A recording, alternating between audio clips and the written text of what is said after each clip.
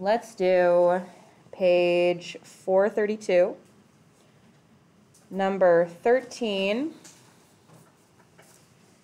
says variances are not equal. Fourteen says that they are equal.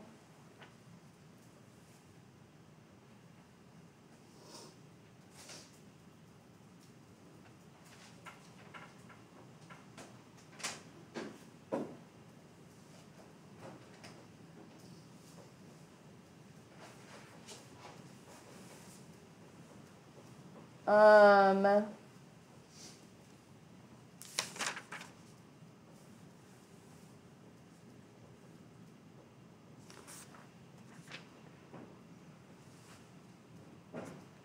Fifteen are equal. And then I'm gonna jump to number twenty, which is not equal. Look at what number twenty looks like. Twenty looks like this. So I want to give you, so on twenty, you're gonna have to use your calculator, and I want you to try doing that like data L one, L two, where it automatically inputs the data from your L one and L two list, and then gives you the information that way.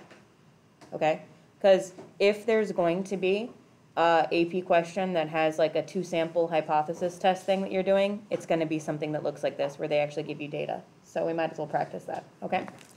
All right, so 13, 14, 15, and 20. Uh, let's say that um, these two are calculator, and these two are by hand. Okay, And doing my like calculator thing, it says that there's an error, I'm doing everything okay, I'll come look at it.